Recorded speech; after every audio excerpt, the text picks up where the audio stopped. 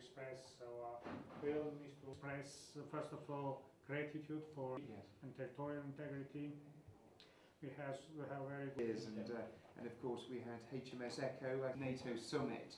Uh, uh, my friends regularly go for holiday in Georgia. Thank you for finding time cyber here. With that, we want to increase cyber domain. This will be one of the Strategic positions.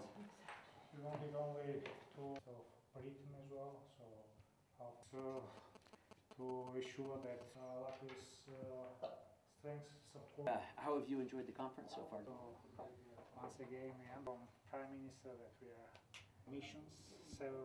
მიუნხენის უსაფრთხოების კონფერენციის ფარგლებში მეორე დღეს ჩვენ გქონდა შესაძლებლობა შევხვედროდით დიდი ბრიტანეთის ლატვიის თავდაცვის მინისტრს განვიხილეთ განსაკუთრებით დიდ ბრიტანეთთან კიბერ უსაფრთხოების სფეროში თანამშრომლობის გაძლიერება ჩვენ მომავალ თვეს ველოდებით ექსპერტებს და ჩვენი აქტიური თანამონაწილეობით და მათი მხარდაჭერით გეგმავთ ახალი სტრატეგიის შემუშავება, სადაც ასევე სხვა სახელმწიფო უწყებებიც იქნებიან აქტიურად ჩართულები.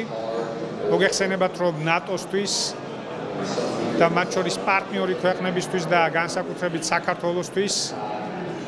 კიბერუსაფრთხოება და ეს სფერო არის ერთ-ერთი ოპერატიული განზომილება, სადაც ჩვენ ჩვენს პარტნიორებთან ერთად ჩვენს შესაძლებლობებს კრიტიკული ინფრასტრუქტურის დასაცავად უფრო გავაძლიერებთ. სიმბოლურად წელს სწორედ კიბერუსაფრთხოების წელი დავარქვით თავდაცვის სამინისტროს ფარგლებში ჩვენს აქტიურობებს, რითაც სწორედ ამ აქცენტს გვინდა განსაკუთრებულად გავუსვათ ხაზი.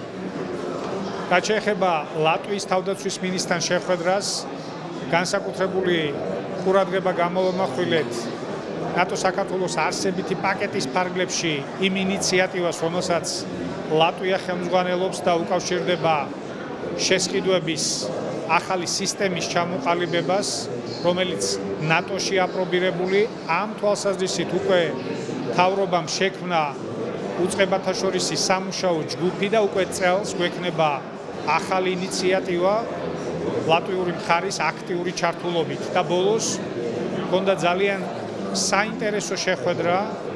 ამერიკის შეერთებული შტატების არმიის ევროპელ სარდალთან, ბატონ გენერალ კავალისთან, სადაც კონკრეტულად მქონდა მსჯელობა იმაზე, თუ როგორ უნდა უზრუნველყოთ როტაციული პრინციპის საფუძველზე ჩვენი ინფრასტრუქტურის გამოყენებით მეტი სწავლებები ამერიკის შეერთებული შტატების მხრიდან